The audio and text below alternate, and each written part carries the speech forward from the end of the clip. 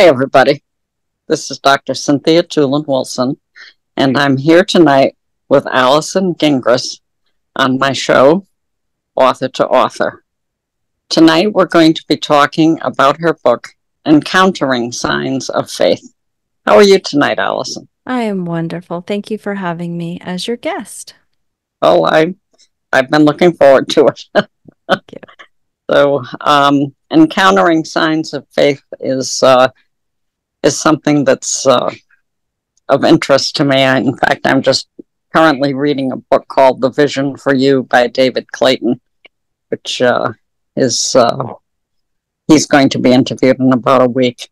But nice. you know, I, I, I like how we encounter, how we see, um, that sort of thing. Yes. Yeah. Um, so before we uh, begin, would you like to start us with a prayer? Of course. In the Father, the Son, and the Holy Spirit. Amen. Dear Amen. good and gracious God, we thank you so much for calling us together tonight, today, whenever this is being heard, to in- learn how we can encounter you in a deeper, more meaningful, tangible way. I ask you for your outpouring of blessings upon all who we hear this, and of course, upon uh, Cynthia and myself as we discern, Lord, what it is you wish for us to share that may help others grow closer to you. And we ask all of this in your most precious name. Amen. In the Father, the Son, and the Holy Spirit. Amen. Amen. So thank you. Of course. Yeah. Um, so this is uh, an interesting title. I'm wondering um, what led you to write the book. Well, the story started with the adoption of my little girl from China uh, over 14 years ago. We were called to adoption through prayer, through time and adoration, and the Lord made it very clear that our daughter would be deaf. I believed so much what the Lord was saying to us in prayer that I actually started taking American Sign Language courses before we were even matched with the little girl. I assumed that it would just either keep me busy while I waited for her to come home, um, or it would be as it is that I would glorify him and sharing that he did reveal to us this really special, um, special aspect of our daughter, of, of who our daughter was. And I think it came to answer this prayer like, Lord, how will I know which child is mine? When I give gave birth to my two biological children, there was no doubt I had had the right child with me. But when it came time to her adoption, there was some fear and some trepidations, of course, to make sure I I understood and, selected the child that the Lord had for me. So He made it very clear. He told me she'd be three. He told me in prayer that she would be deaf. And indeed, when we were matched with the child, she was deaf and she was three. We named her Faith because it took all the faith in the world that this girl with anxiety had to go all the way to China and bring home a nearly four year old child who was profoundly deaf. This the book um, the, as the, the the idea of the book came as I was sharing with the acquisitions editor how I taught my daughter Faith the faith. In fact, we call her Faithy in the book because it could get kind of confusing talking about faith and teaching faith it came from when I explained that because she was almost four and she had no language. I did not want to wait for her to develop American Sign Language. I wanted her to know about God immediately. And I knew God could could break through and teach him teach her about him in ways I will never be able to. But I really as a mom wanted to start sharing the faith. So we began by sharing what we could see images and holy water, things we could touch with our senses, right? Don't see, hear, touch, feel. Uh, would be a while before she could receive the Eucharist and taste, but all the different ways that I, as a, a Catholic mom, could bring the faith to her, looking at stained glass windows and introducing holy water and incense and and candles and lighting candles for people. Just all of these beautiful visuals that our faith has, and that's where encountering signs of faith came to be. It's kind of a play on names. It's encountering signs that brought us to adopt faith and we tell our adoption story, which was very powerfully led by God, but also how we can encounter God through the signs of faith that we see in our everyday world and the tangibleness uh, that God provides for us in our world. Wow. That's, uh, you had to have thought about that profoundly to come up, you know, to to figure out how to do this. You know, Yeah. It's- that's impressive. Well, I was a, a preschool teacher, so I always think God doesn't waste any of uh, any of your life, any things that you you pick up along the way. If you open your heart to Him, He will absolutely show you where you can use these gifts and these talents uh, to bless others, to bless yourself, but in this case, to really um, provide this child who came very unaware of many things. This blessing of getting to know God in such a, a Mhm. real way. hmm hmm Yeah. That's that's really great. Thank you. Yeah. So, um, how is she doing? Uh, how long have you had her now? So 14 years, she's 18 Mhm. years old. What we did discover shortly, um, just a short time ago, after a few years of her being home, is that she actually also has a cognitive disability. So she is doing great. She's still, she learns at about an eight year old level, even though she's 18. She reads and, and thinks around an eight, 12 year old level. Uh, but her faith, it, it remains childlike. And isn't that beautiful that you know, we could look at this as a disability, but I think it's a beautiful ability that she has to remain childlike and to encounter the world with this childlike trust and confidence in God that we work. I don't know about you, but I've worked for years to to try to to try to uh, accomplish in my own life. But she's doing beautifully. She's learned American Sign Language despite her um, disabilities, and she is just a happy pleasant, beautiful human being that we are overwhelmingly blessed to be a part of her life. hmm That's great. Thank you. Yeah. So, um, yeah, when you think, I've often wondered about disabilities because I often think that it's not so much a disability as much as a person is just different Yes. And- because it's not exactly on this uh, range that we've decided is normal. Mhm. but They she- may often have wonderful gifts that we we don't, you know. yes. She teaches me something new every day about God's goodness, just how Mm. how innocent and sweet she is, but yet how trusting and how she just sees the world in such a, a beautiful lens that can we can sometimes lose because we Mhm. maybe know too much.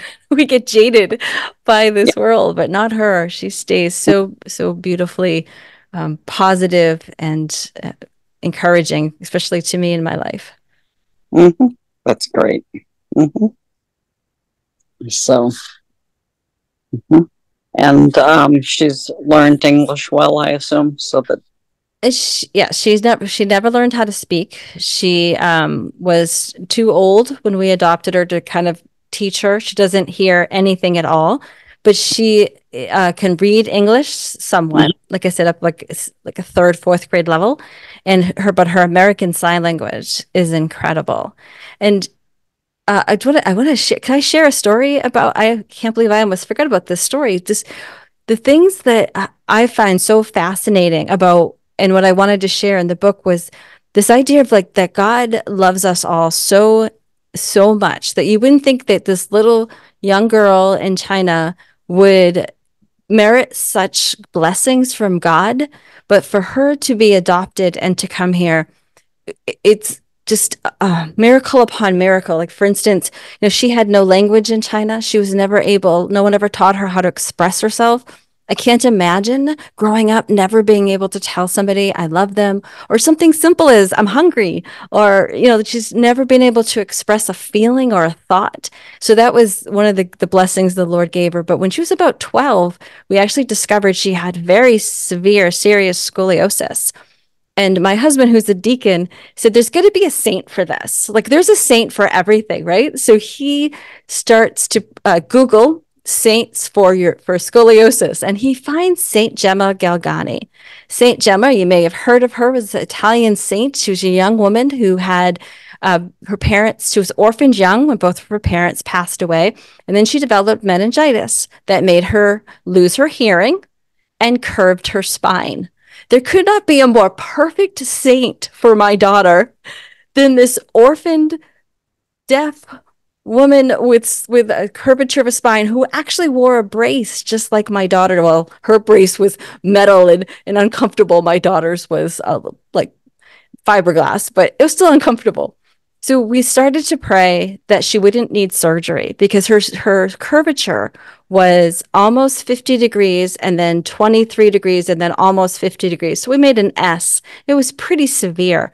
And the doctors started talking about surgery. Now, when you don't give birth to a child and you don't know anything about their history, she was abandoned. They told us nothing. They, they there's no medical records or any birth records of her at all. The idea of putting this child under um, anesthesia was petrifying. So we started praying, asking the Lord to prevent her from surgery. We, she goes to the doctor. She gets put in this brace. We're told this brace, called Boston brace, would not heal her, but it would help the curve from getting worse. That's what we were told. We go back about two months later after starting this treatment, and the doctor x rays her. He comes in the room and he's got this ear to ear grin on his face.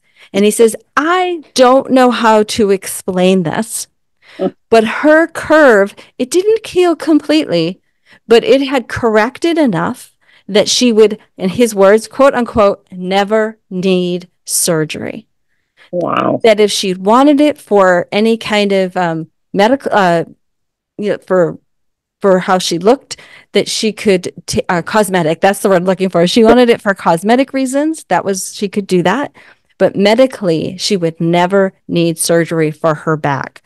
And it was just so amazing. Sometimes, like, we believe in miracles, we believe in God, but sometimes we don't realize He's to act in our own life. He's going to be there and, and show up in such a big way. So I always tell people, pray boldly. I don't know why my husband and I never prayed for her to be completely healed, but we just really felt so strongly that we didn't want her to have surgery. So pray boldly, pray, uh, believing that God, who says He's faithful, will do what is necessary in your life. It's one of my favorite stories about Faithy.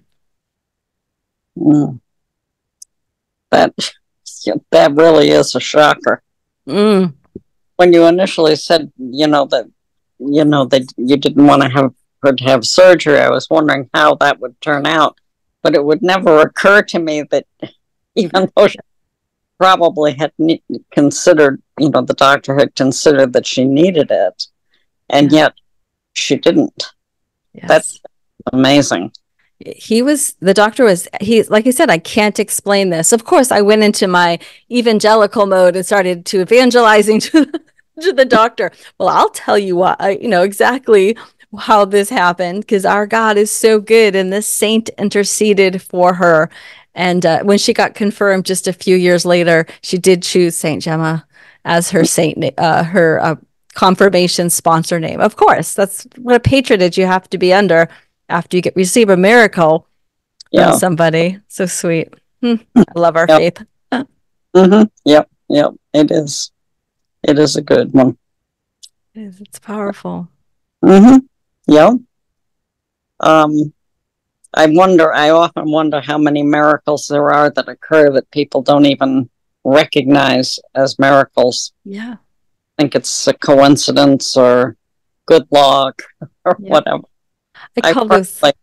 Yeah, I firmly believe in miracles. Me too, and and not just for special people and for big things. Like I call those God, at least it's about the word coincidence. I use the word Godcidence. I've heard people say, you know, God winks, God moments. I like the word Godcidence.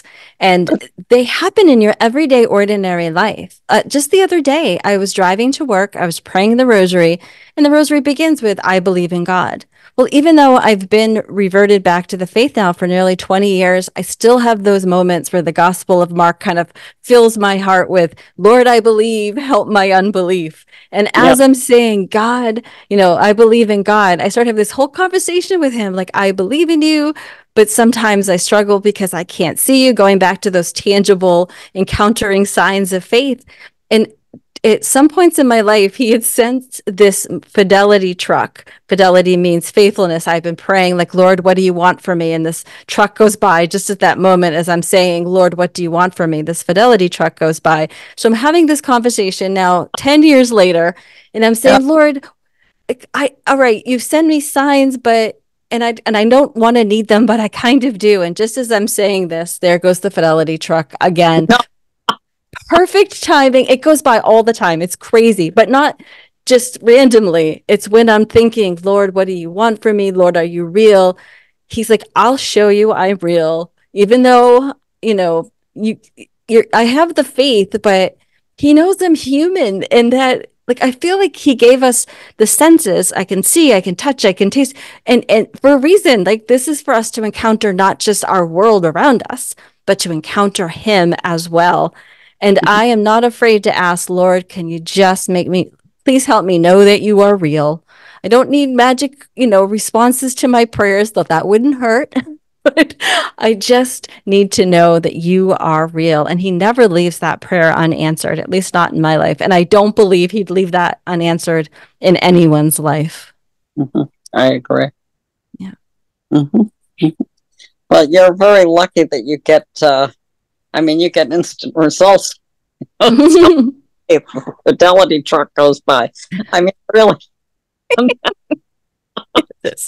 really, God also has a good sense of humor. He does. oh, that's funny. Yeah. And I laugh because the truck is, you know, fidelity is this Latin rooted word that means faithfulness. And I, the first time I ever saw it, I laughed and I was like, oh, of course you're using a fancy Latin word, Lord. Like that just makes me laugh. that is something. Oh, yeah.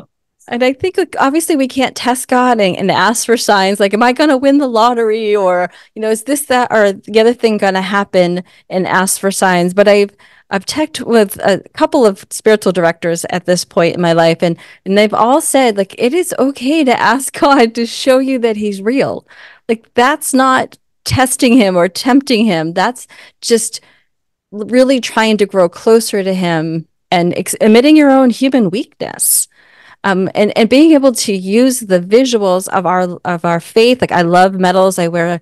Uh, the book also includes many of sacramentals of our faith. Those those mm-hmm. those tangible things that aren't blessings of themselves, but carry the blessing of our church, carry the prayers of our church.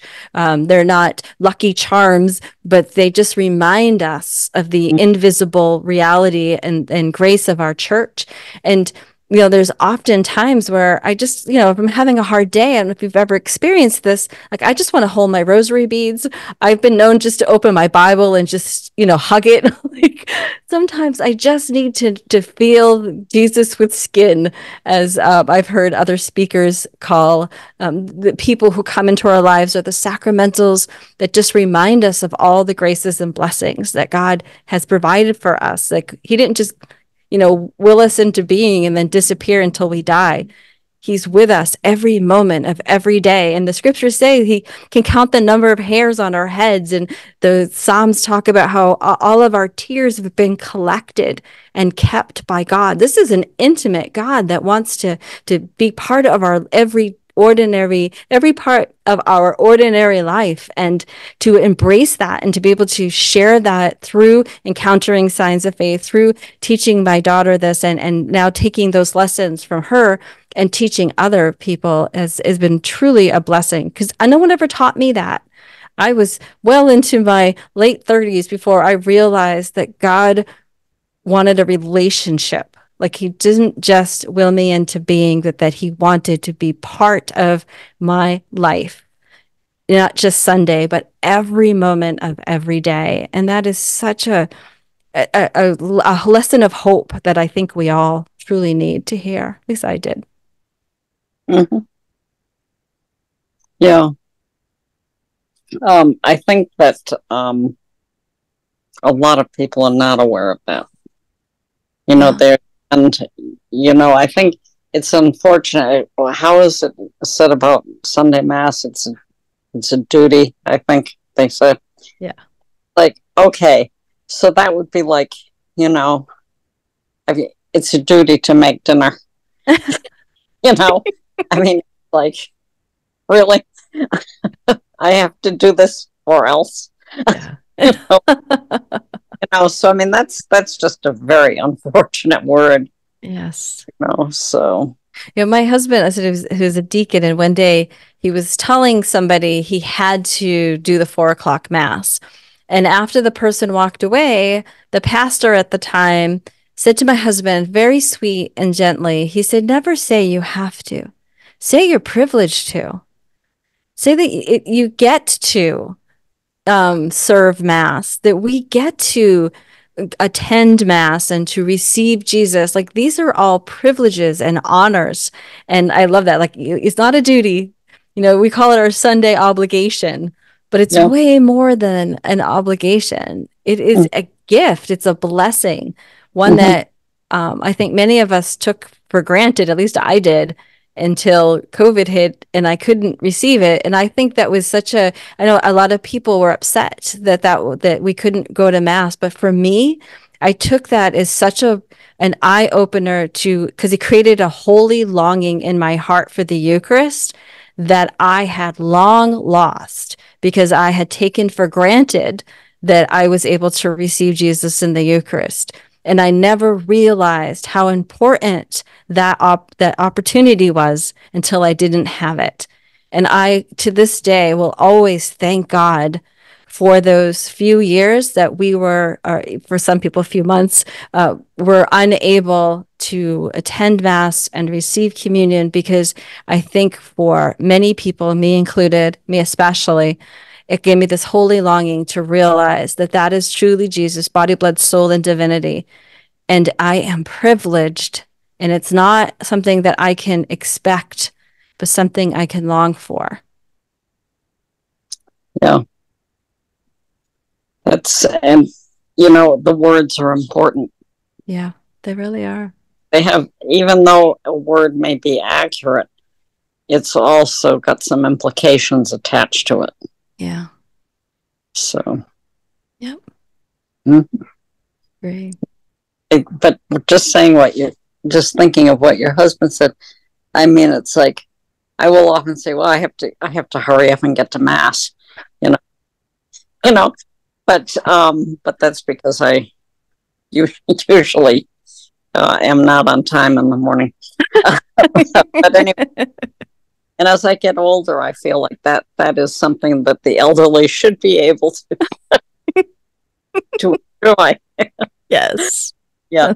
but um That's but funny. yeah, so but the having to I'm really referring to getting getting into gear, not like it's I've got to do this. So, but it's uh, the the language is uh it's easy for people to hear that and misunderstand.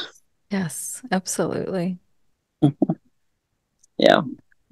It was really wonderful to watch my daughter um, discover the Eucharist and and to discover uh, she gets she absolutely was fixated and fascinated by the consecration. And in fact, um, I used to sit in the pew next to her and try to sign what was happening, and she'd get very angry with me and finally, I realized it's because she rather watch what was happening on the altar than what mm-hmm. I was doing. And so I eventually got over my kind of shyness and mm-hmm. stood up um, to the side so that she could, it, you know, she sat in the pew and I stood facing her so she could see what was happening on the altar because that was far more important than the words I was providing for her. She just was enthralled. And then she actually became an altar server for a little while. And that was really, really sweet to see her, um, just her respect and, and, and how serious she took it. It was really, a lot of people in the, in the church would, would say that she reminds them of just how special that moment is.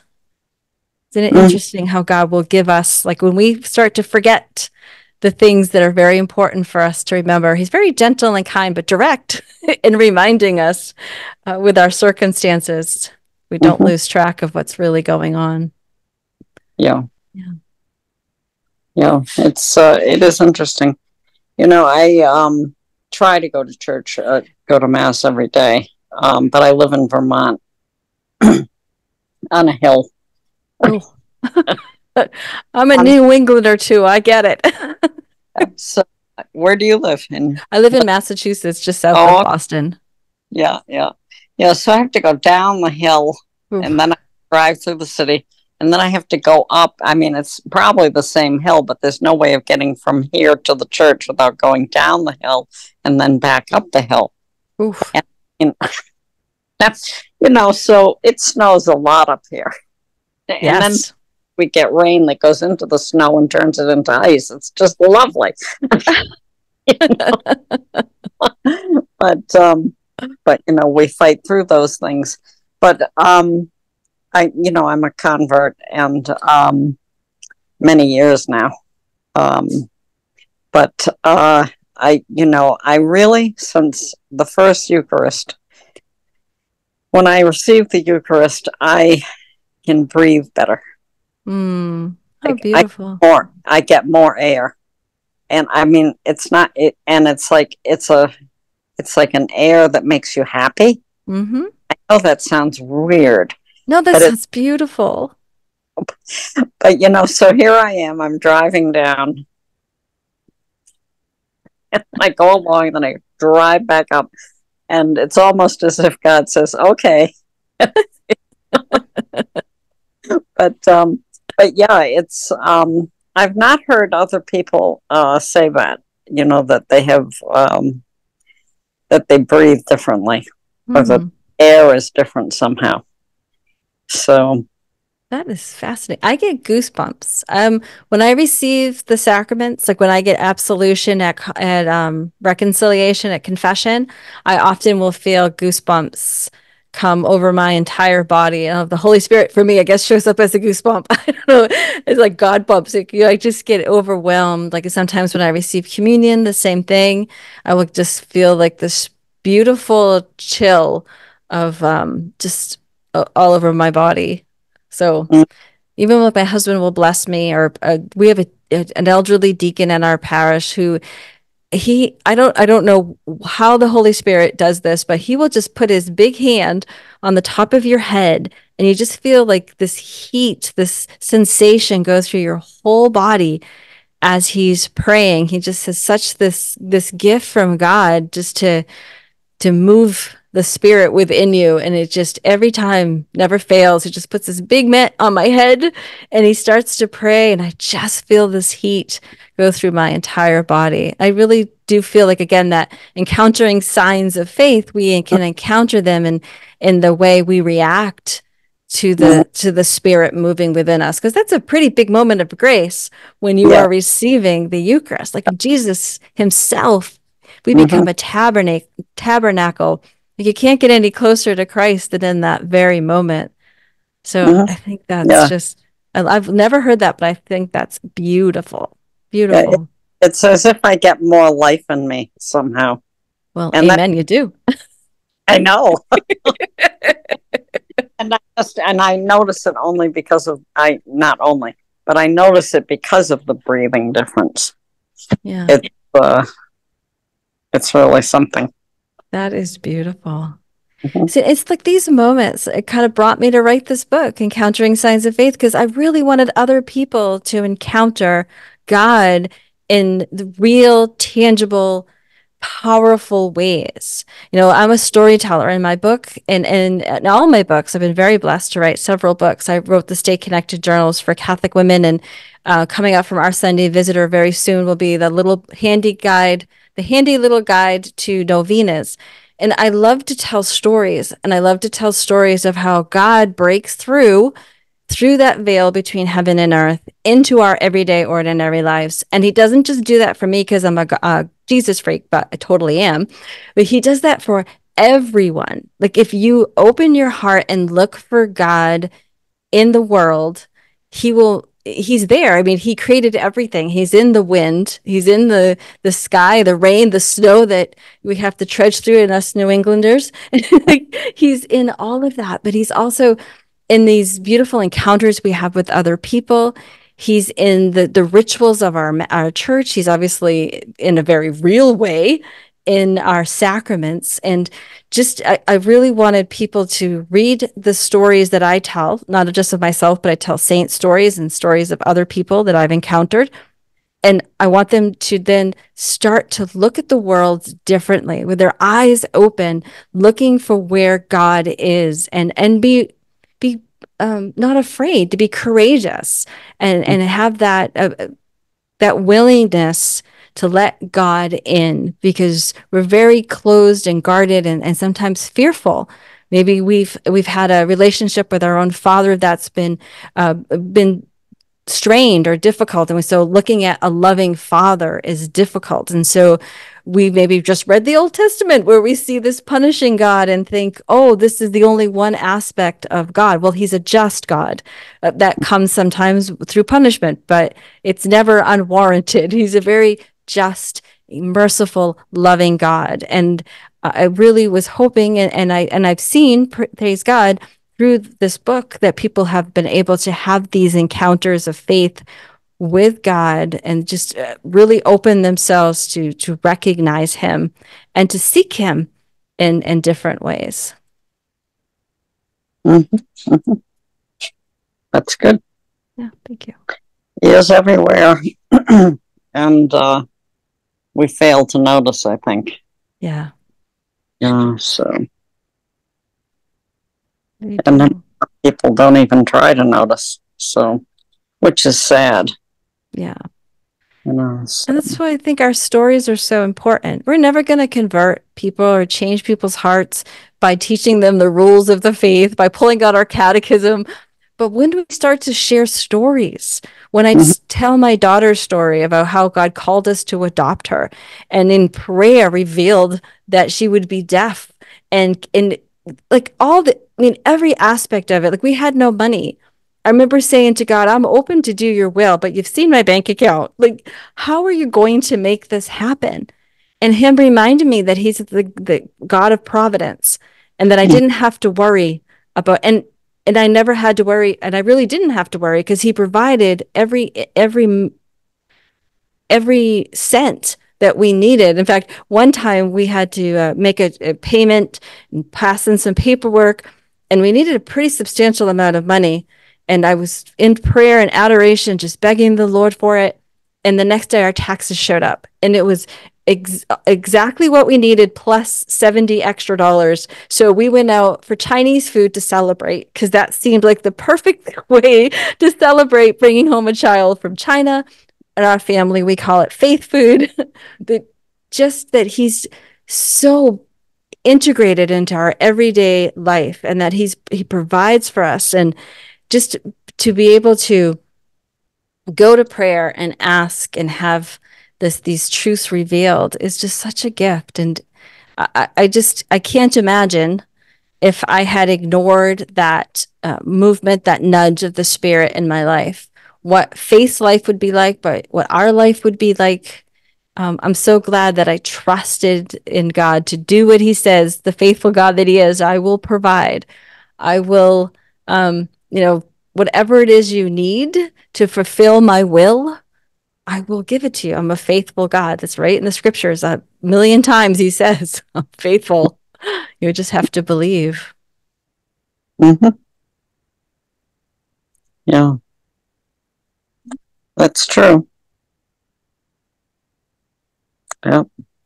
In my life, he's, uh, I, I converted due to a religious experience and um, which I was not looking for. Those are always the best ones. oh yeah, this was this was a killer. yeah, um, I had. Uh, I'll give you the brief version. Um, I went to uh, Rome with my husband, uh, my first husband, who died of cancer, and um, we went to Rome because his mother was turning 85 and she'd never been to Rome and wanted to go. So we wow. took the whole family. And I was not Christian. So I um I said, Well, I'm willing to go, but you know, you guys can go do the churches and stuff, and I'm gonna do the history and the art and all that kind of stuff. And that was okay. So one day uh Jimmy said to me, you know, um, we should do something together as a family. And I pointed out to him that we had been having breakfast and dinner together. anyway, so young and stupid. Uh, anyway, so um, he asked me if we could all get together and just like go on a bus tour. And I said, all right. but I'm not going to go into anything religious. And it wasn't because I was anti religious or anti Catholic, I just wasn't interested. Yeah. You know, so um, I was sitting in the bus by myself. They turned off the air conditioner, and there was no bathroom. So I said, Well, I'm going to go in the catacombs, which was oh, what. So I went in the catacombs and there was a group of people having mass. I knew what that looked like. And I thought to myself, you know, why are they having mass? It's not Sunday. What's wrong with these people? the, the ignorance, absolute ignorance. So I kept walking, caught up with the tour. Um, and of all things, there was an Asian, I believe he was priest, a priest. He had on a cassock, and he was uh, standing behind this like stone table slash altar. And I don't really remember anything he said, but Mhm. I just um, I just had this thing go through my mind. I don't know if I should call it a vision or not, but it went through my mind, and it was uh, in letters, the truth with a capital T, Wow. Is- Catholic Church, and I looked and I thought, whoever did that, they they spelled truth wrong. It shouldn't have. It shouldn't have been capitalized, right? oh, that's funny. It is. But, you know, and then I stopped dead and I was like, wait a minute, who did that? You know, I knew I would Wow. Thought it up.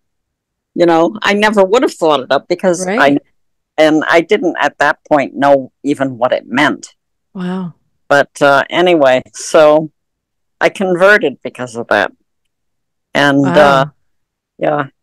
And, um, well, of course, I did have, finally, someone told me what the capital T meant. So, um, so anyway, I ended up, I ended up uh, converting and becoming a Roman Catholic theologian.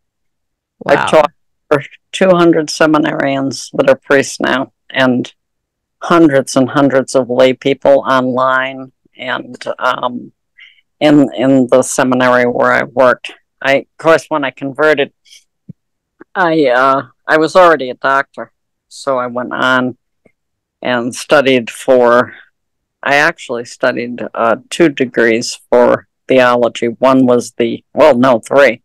An Wow. M a postmaster certificate and then I got the license to teach.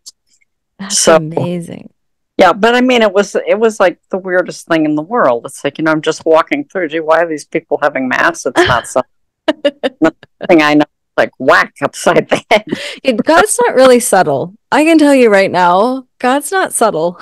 No, that's good though, because we're so we don't have the I don't think most of us have the capacity to pick up these No. little hints. You know? So he really does have to be He needs to send Mack trucks. He needs to send Mack trucks. Like a locomotive my way. right over me. I love that expression, the spiritual two by four, right? Like I've been hit by a few of those. I like that the spiritual two by four. Yeah, but you know, it's kind of uh, it's kind of interesting because God is a parent to us also, and um, accordingly, sometimes there's no way to get through to you except with a two by four. no, really, uh, God certainly doesn't use a two by four, but it's like He uses something that you can't miss. right. Yes. You know. Can't miss. Right. And people do choose to miss, of course. Um, but I, I just, right. you know, they keep looking and looking. And I was like, what are you looking for? Because I was lost. Like, I totally get that. I was trying to fill my my my broken heart my my hardened heart with everything like i was out partying i was buying stuff i was going into debt and i just couldn't find anything that fill that that God-sized har- hole in my heart, like Saint Augustine says. And I didn't know it was a God size hole until I finally like exhausted every avenue I had of trying to feel better. And then one day on my knees, just completely gutted, said, All right, I was given the Catholic faith as a child. I kind of threw it away. I'll try it again. Like I'll give it a whirl. And lo and behold, I you said earlier about the ignorance. I had such an ignorance of my own faith. I didn't mm-hmm. know anything. I didn't know the, I didn't even know the scriptures um, were you know like that they were part of our our mass. I went to mass all the time and didn't realize that the readings were the scriptures. The our father i didn't realize came from christ himself. I can remember being in second grade like complaining i had to memorize this stupid prayer. Like oh, hello that mm-hmm. stupid prayer was the one that jesus gave us when he was asked hey how should we pray? Well here's how the son of god prays. I don't it and I wonder how many people like myself grew up in a faith that was being taught by people who didn't know the faith, who because they were taught by people who didn't really know the faith. And mm-hmm. I think that's again part of my um, drive, my desire to be a writer, because I want to somehow tell as many people as I can the truths mm-hmm. of the faith, because it's so rich and deep and beautiful. And there's mm-hmm. literally something for everyone yeah. in the Catholic Church to bring you happiness and wholeness, a joy, not happiness. I mean, happiness is fleeting, but joy is that feeling that nobody can take from you. And yeah. that's what Jesus wants to give you. That that joy, that hope of heaven that this how this world can't destroy. And he, mm. that's, you know, I, I just want everybody to know. I want to get up on the rooftop if I wasn't afraid of heights and I would scream it. Yeah, well, I'm not getting on the roof with you. I won't even get in an airplane if I can avoid it. Mm-hmm. It's supposed to be safe. Funny. St. Catherine of Drexel used to get on boats back in her day to travel, and she hated it.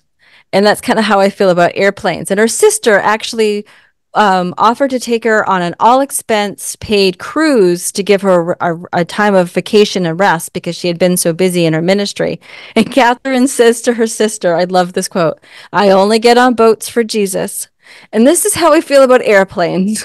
I only get on airplanes for Jesus. I don't go on trips, but I will fly to speak. I've been out to Reno and Fresno in the last year. Like I will get on an airplane for Jesus, just like uh, Saint Catherine of Drexel, get on a boat. yeah, I yeah. I, there's just something. It seems.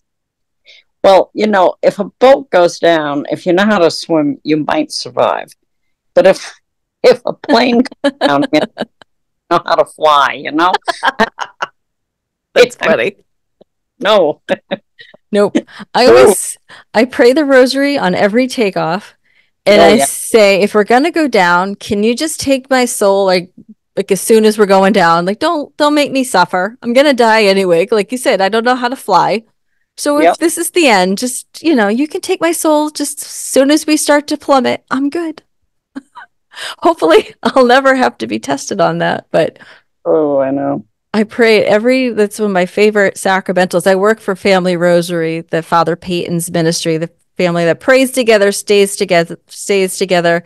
Um, and you know, again, this even that's a God story. I was working for a women's national women's ministry, loved it, but mm-hmm. you know, everyone gets to that point where they just say, "Lord, I just want to make sure I'm doing what you want me to do. I was getting older, and you know, once we get to that midway point of what we think is our midway point, we uh, I like to just make sure doing what God wants. So I did a novena, nine days of prayer to Father Patrick Peyton, and all I did was I asked Father Peyton to, to ask the Lord to use my gifts and talents where they were best.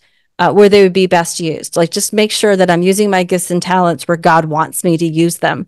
Within days of finishing that prayer, I was offered a job at Family Rosary, Father Peyton's ministry, that I never applied for.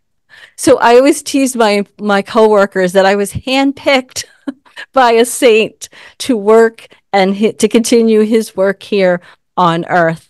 Like just prayer is so powerful and so beautiful, and so I get to continue that work of uh, sharing the rosary, sharing family prayer, and I've had the best discussions on airplanes when I pull out my rosary beads, considering depending on who's next to me. like, what are you doing, lady? I'm like, oh, let me tell you. I had great conversations about my rosary beads. Mm-hmm. Mm-hmm. A very tangible sign of faith. Yeah, yeah, it is. Mm-hmm. Yeah. It is all interesting how life just works out. yeah. How we develop our own little personalities. Like, you know, just take me when we start to plummet. I love that. I'm going to remember. If I ever have a complaining, pray I don't have to. but if I do have to, I'm going to say that. I'm going to say the same thing as we're going up. It's like if goes wrong, like the engines fall off, please just take my soul right away. Yeah, just just take me. Like don't don't let me, you know, don't prolong this. Just just take me home to you, please. I,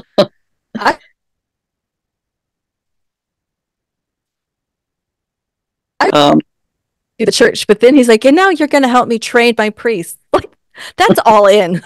I love that. Yeah. Uh, oh my goodness. How long did you teach? Are you still teaching? Yes. Uh, I I uh, taught um, at Holy Apostles for, I think it was some, somewhere between 28 and 30 years. Some days I've got a, someday I've actually got dates, but probably closer to 30 years. Um, I also um, did their statistics. I was not just a professor, but I had uh, my doctorate was in sociology, oh. and um, I, um, you know, with a number of people of the social sciences, so mm-hmm. I did that, and then when I left Holy Apostles, I went to Pontifex University, which I really like. It's uh, 100% online um, MT, Master of Theological Studies, and also uh, doctorate in theology. And so when you, um, we have quite a few students from all over the world. Um, everything, of course, is done as a, in English, but I guess English has sort of become like the old Latin, you know, where it's the it's the world's language to some extent, anyway. But uh, we have quite a few students, and uh, they hired me as the dean of the theology faculty, and wow. so I do that. I do that. I teach, and the fun part is I still do the statistics. but um, but anyway, I really I really enjoy the job, and uh, yeah, the book that I just mentioned, Vision for You, which is is was written um, by my boss, David Clayton, Dr. David Clayton. And it's it really is about, you know, um, the spiritual life.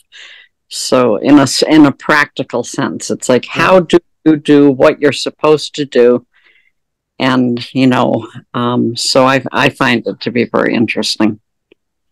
I think that's such a great topic because I think people don't know how to integrate faith into mm-hmm. their everyday life.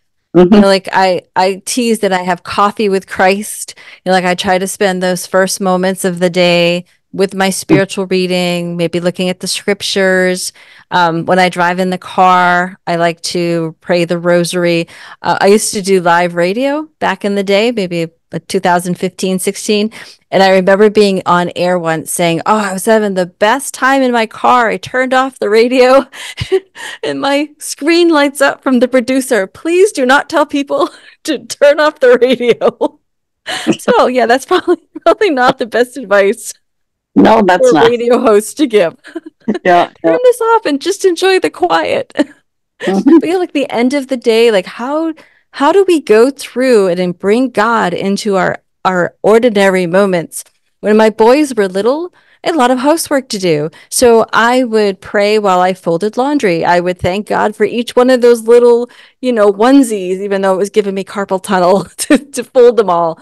When I had to wash the dishes, I would thank God for having the, the, the money, the means to feed my children, the roof over my head as I was vacuuming.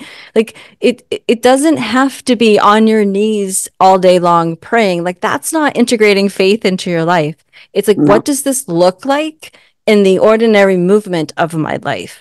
Like, how do I acknowledge God in the everyday ordinary of, you know, I have to work. And I, I think it was Matthew Kelly who writes at the top of all of his papers, JMJ, Jesus, Mary, Joseph, just to kind of remind, remind him. And I think um, it, it might be Scott Hahn that writes AM, I forget the initials, the one that's AMDA or H or something that just says like all glory to God and Latin. I don't know. I'm not good at that stuff. But anyway, just this little ways of of incorporating. Like I like to leave a rosary because I on my desk across my computer just to remind me I'm doing this for God.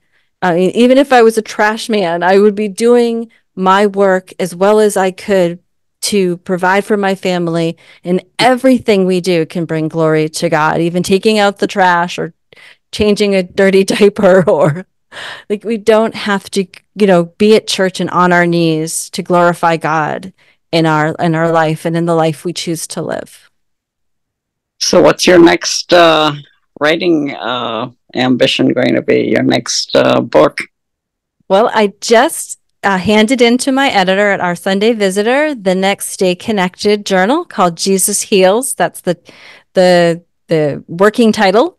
Jesus Heals, and it's all the places in the scriptures where Jesus heals, doesn't heal, um, how he heals. And it's really looking at um, how Jesus comes to make us whole and how we're called into the suffering and how that suffering sanctifies us and strengthens us.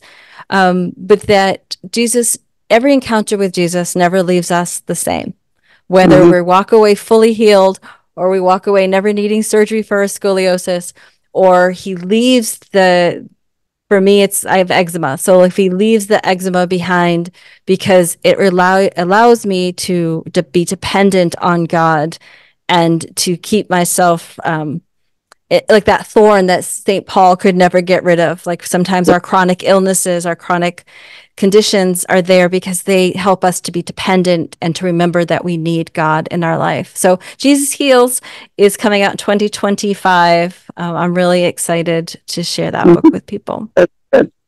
Good. Thank you. Mm-hmm. Well, it sounds like you have a very happy, fulfilling life. I do yeah. It's not always perfect. I don't want to like oh, but no. it's filled with joy because it's filled yeah, with jesus. you are you are filled with joy. Thank you. It yeah. thank you. Mm. that's the greatest compliment. Thank you. I like that compliment. I'm good you're welcome. It's true. Thank yeah. you. Mm-hmm. um, okay. Um so if you do uh when you write your next book, you should get in touch with Sebastian, and I'm sure he'll set up an interview for you. I'm, I would uh, love that. Yeah, I I won't be the um, interviewer. I'm um, I'm moving out of it. Um, I've done almost 400. Wow. Uh, yeah, so I'm I'm starting to slow down a little bit on that. So. Well, thank you for your ministry up until this point, and I'm really glad that I got to be a part of it. Thank you. That's very kind to say. Mm. I mean it. Mm-hmm. I know. I think we're if we lived next door to each other, we'd be drinking coffee together every morning. or wine every night. Similar personalities. Clearly, yes. Uh, yeah. Okay. Um, would you like to close us with prayer? I would love to. In the name of the. Father, the Son, and the Holy Spirit. Amen. Dear Lord, you are so good and so kind and so merciful, so loving. We are very grateful to be called your beloved daughters and sons. We ask you to continue to reveal yourself to us in the world around us and the people we meet. We ask you to continue to fill in us with grace that we may encounter you and bring you to others in all that we do and say.